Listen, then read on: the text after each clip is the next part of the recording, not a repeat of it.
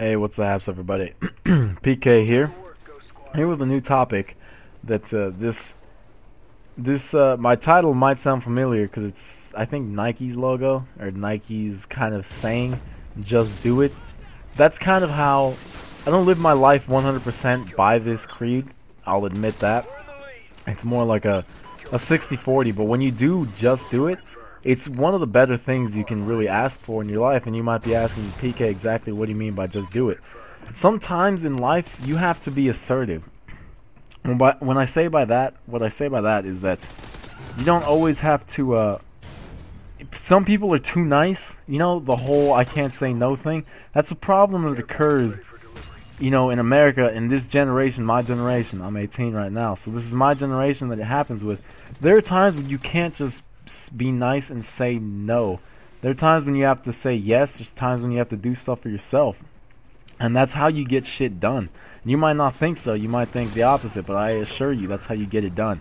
I'll do a uh, a commentary tomorrow on how I got started on the drums, but it's because I decided to be assertive and I decided that I wanted to play drums for my church. So I told the guy they weren't looking for drummers, and I told the guy I want to drum can I start drumming for the church? And I told him, and most people would be like, oh, he said no, they're not looking. No, you have to be assertive. Get it in there that you're assertive. Not don't be bothersome where you ask them and text them every single day, but be assertive. Be assertive. Assert yourself healthy, if that makes any sense. And kind of when they say no, don't bother them all the time, but make it kind of let it known that it's an issue that's bothering you that you want whatever they've got, you know? What you want? Baby, I got it. Because you have to be assertive and take control of what's going to happen. And I, I know it's kind of deviating. It's a little mini rant, a tangent, if you will, inside this commentary. But what I mean by that is that there are times when things, uh, you're going to think about something and then you're going to end up not doing it. And one of those examples, is I had a cousin, a cousin of mine, not a friend and uh, he was terrified of roller coasters. And every time we were about to get on the roller coaster, he'd start uh, freaking out, and then right when he sat down, we were about to go, and then he'd say, "No, I can't do this," and he'd have to get off. It was a real pain in the ass because I wouldn't go any to like any. I wouldn't go to Six Flags with him. I wouldn't go to Knott's. If I did, I he'd stay back. And then I wouldn't let him stay back. It's a dick thing to do. Go to Knott's with someone and then just let him wait everywhere. And I know it's kind of a dick thing that he's holding me back from going on some rides. But anyways, so every time he would go on a ride, he'd start thinking about how bad the ride was, and then he'd think twice and then not go on it. That's something that you shouldn't be doing. You should just do it. And what I mean by this is that a couple of weeks ago, another couple of weeks ago, this has been like a couple months ago actually. He, we went to a Knott's Berry Farm, and I told him not to think about it. Just close your eyes, get on the roller coaster, and don't think about absolutely anything. And uh, you guys might think this is simple, um, you know, just don't be afraid of the roller coaster. But to him, it was a terrifying ordeal. It was really, really scary. Oh, I need a burp to go on this roller coaster. So he was freaking out, but I kept calming him down, telling him don't think about it. And then eventually, the roller coaster ride locked, and we started moving. He couldn't go back. Now he started thinking about it, and he was he wasn't crying, but he was very, very, very scared. He did not want to go on the ride. He kept begging to be let out, and it it hurts. it hurts your feelings. It hurts the feels, I guess, when like your own cousin or like someone that you really care about starts like crying, not crying, but like they're so desperate to get off something or they're so desperate to not do something and you know that it's your fault that they're doing it in the first place.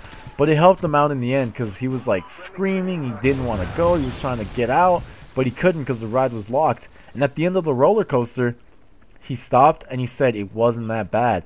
And now he goes on roller coasters all the time. He takes his girlfriend there every once in a while to six flags and he goes on silver bullet and it's a fucking blast. I don't go with him but i assume it's a blast because six flags I don't know. Six, Six Flags is kind of 50-50. I like Knott's better just because Six Flags has a lot of roller coasters, but they're not. It's just roller coasters, so there's always long ass lines, and it, I don't know. It's a bother. Anyways, That's what I mean by don't think it through. Because if he thought it through again, and I wasn't there to kind of slow him down and tell him not to... Oh, I tried calling the KEM. what a fail. Good thing the uh, it went away so I could call him in. Anyways, um, so you shouldn't think about it. If I wasn't there to calm him down and he thought about it, he would have gotten let out the ride and he wouldn't have gone back and then it would have cycled again so that he'd keep on doing the same thing. He's about to go, the ride's about to start, and then he bitches out at the end. That's not what you should be doing. You shouldn't think about it. And now, let me bring this to an example that's a bit more down to earth for everybody. Or for guys, more, uh, you know. Uh, you see that cute chick, like, right across the, uh, the way from you? You kind of just have to go do it and talk to it. And I know that sounds like something that's blasphemy and that's scary. And I was there. I was there for a long time. You trust me, man. I'm not like, uh, yeah, I came out the room like chatting bitches up all the time. It's not how it worked. I was a pretty shy guy. It wasn't until I got rejected for the first time I really started opening up. And this was uh, mm, eighth grade, I think. Eighth grade. Um, eighth seventh grade, I got my first girlfriend. No, no, it was ninth grade. Ninth grade. There we go. Maybe that's a bit sad. Eighth, seventh grade, I got my first girlfriend, and then ninth grade was this girl that I really liked, and I was super sure that she was into me, but I was too much of a bitch to make a move. And I knew she was into me because like we talk a lot.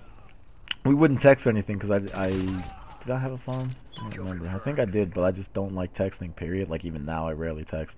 Anyways, but like she talked to me all the time and she laughed at everything I'd say and I'd catch her looking at me. But then when the time came when I asked her, I think I asked her too late and she just kind of got over it because she was like, "Oh, I'm sorry, I, I can't."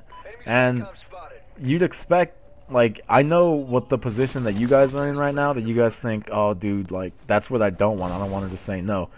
When she said no, you'd think that I'd feel like I, I'm about to die, like nothing can be worse than this. I felt alleviated, like I felt relieved on the inside because there's no more of this, uh, is, is she, does she, does she not, or whatever bullshit.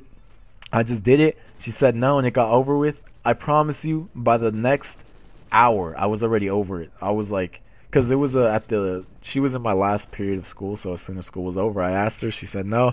I went home i ate and i was over it. That's what it's not that bad trust me especially when you're in high school. I just graduated last year. High school is nothing i tell you that. If you think high school's like if your popularity in high school or if you're not popular that that's the end of life that if something gets out and you fuck up or something it's to be the story of the school trust me no one gives a shit. Like especially being gay in high school is a big thing. People hate on gays, and it's not right. I don't, you know, I don't hate on anyone. Like, especially I'm anti-racist. Um, I really, really hate racism with a passion. Anyway, so uh, yeah, people. If you're gay in high school, it's like it's over. A lot of people are, you know, they hate you. They call you faggot and all this shit.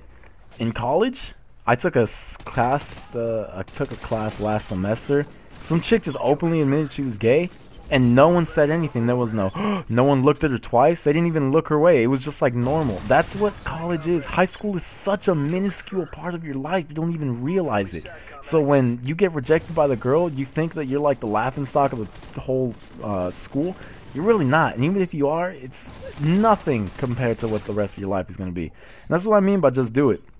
And if you want an example where it worked out today, uh, today I started my first semester of college not my first semester, I should say. It's uh, I think my fourth, third semester, and uh, I went to my philosophy class. There we go.